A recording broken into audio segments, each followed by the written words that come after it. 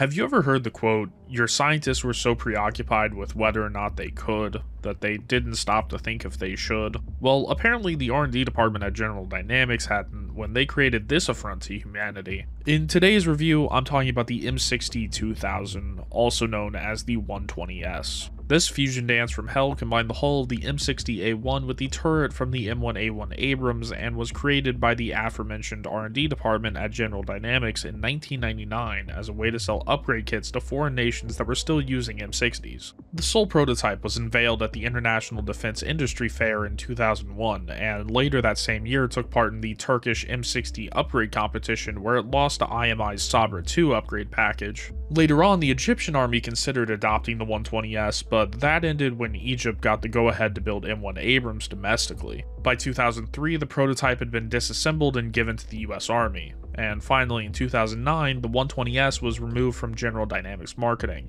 And now, in 2024, it's been added to War Thunder as part of Update Alpha Strike as a Rank 7, 10.0 battle rating medium tank in the American tech tree. It'll set you back 260,000 research and a total of 910,000 Silver Lions. According to General Dynamics marketing, the S in 120S stood for speed and survivability. As far as War Thunder is concerned, that's a lie. Across 55 games, I had a 58% win rate with a 1 KD. This thing is neither speedy nor survivable. At least it has the second most powerful cannon at its battle rating, only being beaten out by the abomination that is the 292. Now onto some stats of this thing as always starting from the back and working our way up. The 120S has a diesel engine which produces 750 horsepower, somehow making this thing the most powerful engine in an American M60. You're still only getting T72 speeds out of it though, with a max forward speed of 30 miles per hour and a reverse gear of 5 miles per hour. The engine is also huge, taking up the entire back half of the hull.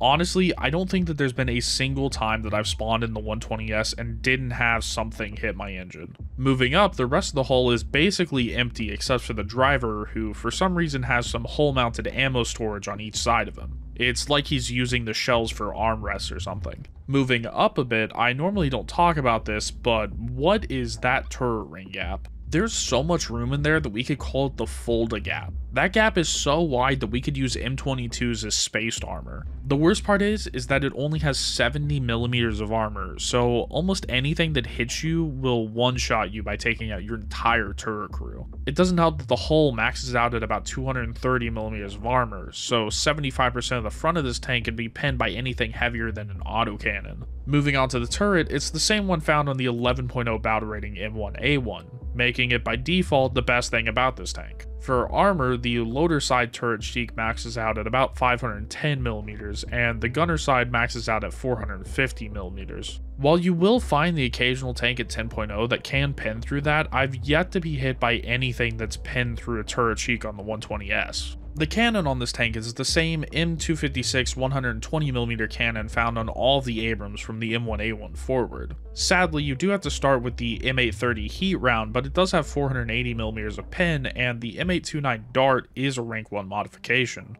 That upgrades your pin to 491mm, which is already one of the best rounds at 10.0. But it gets even better because as a rank 4 modification, you can unlock the M829A1 with 598mm of pin making it the second best round that you can find at 10.0. It's the second best round that the US gets as a whole. M29A1 can slice through any tank that you come up against. It doesn't matter if it's German, Russian, or Swedish. For most tanks, you don't even have to aim, you just point and fire. I've been pretty vocal about how much I hate M60s, but the cannon on this thing is so good that I don't mind having it in my lineup. And really, that's my overall stance on the tank. I hate the hull. It provides no armor and it's slow, but the cannon is so good that it really makes me overlook a lot of the shortcomings that I wouldn't have otherwise. If you're building an American 10.0 lineup or thinking about adding this to your lineup, I definitely think that the 120S is worth the grind and I think that it's worth spading. It definitely punches above its weight class, even if it can't take that many punches in return.